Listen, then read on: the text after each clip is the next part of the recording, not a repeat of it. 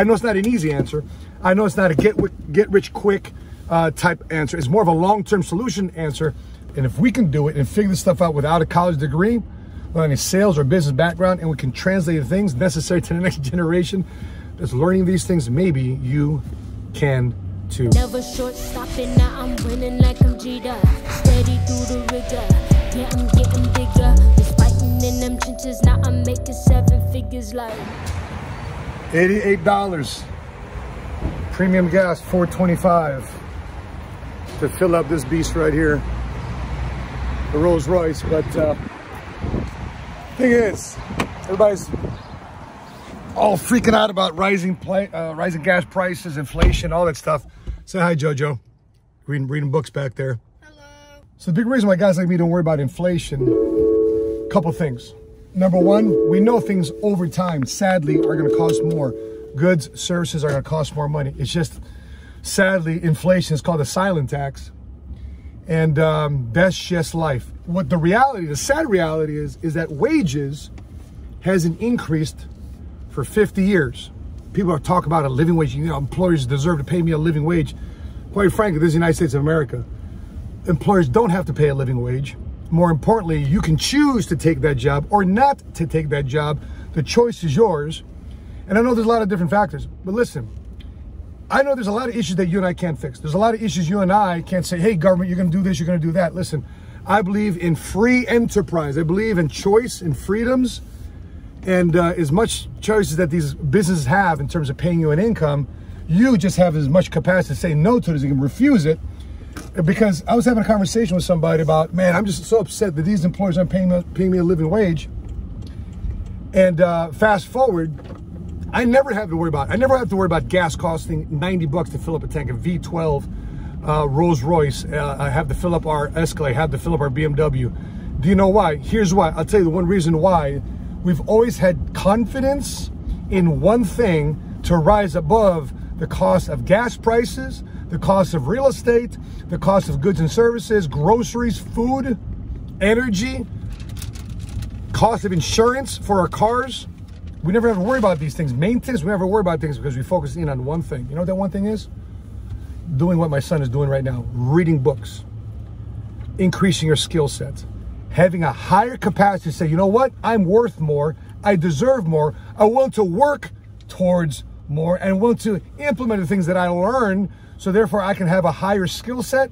I can have a higher appreciation in terms of uh, um, not appreciating like people appreciate you, but appreciation and value is like houses appreciate you career wise, value wise, appreciate and value. And one thing I've always had the confidence in saying, you know what? I know working for Olive Garden ain't gonna pay me a living wage. I know working for Jiffy Lube ain't gonna pay me a living wage. I know being a lifeguard the YMCA isn't gonna pay me a living wage. By the way, those are my three former jobs before becoming an entrepreneur inside the insurance industry.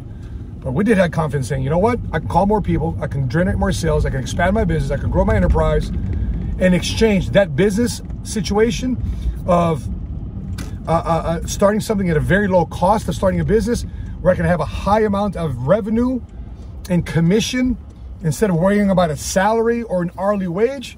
I've had a whole lot more confidence in doing it. And that's why $90 in gas, eh, no big deal. Why? More importantly for an entrepreneur, guess what? If I use, which is this car, is bought through the corporation, and I'm using this car for business purpose and business use, guess what? All that stuff is income tax deductible if I properly document and use it for establishing what they call a trade or business. I know it's not an easy answer.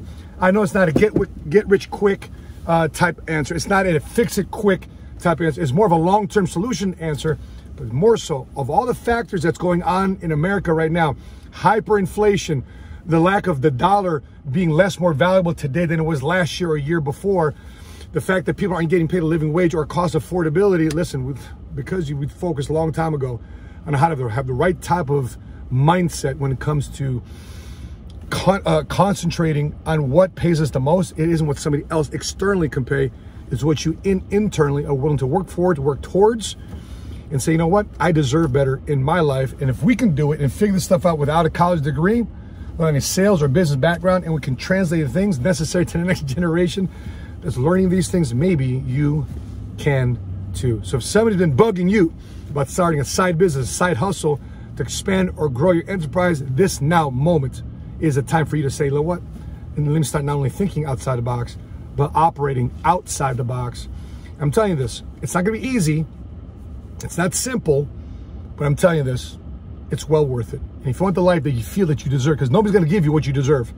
Life will only give you what you're willing to grow, grow towards and through and willing to fight for. If that's you, drop your thoughts and your comments in the comment section below. Say, Matt, I'm willing to fight for the life I deserve. Drop that in the comment section below if you're willing and saw the end of this video. You lasted through watching this because I know this is not an easy message to digest.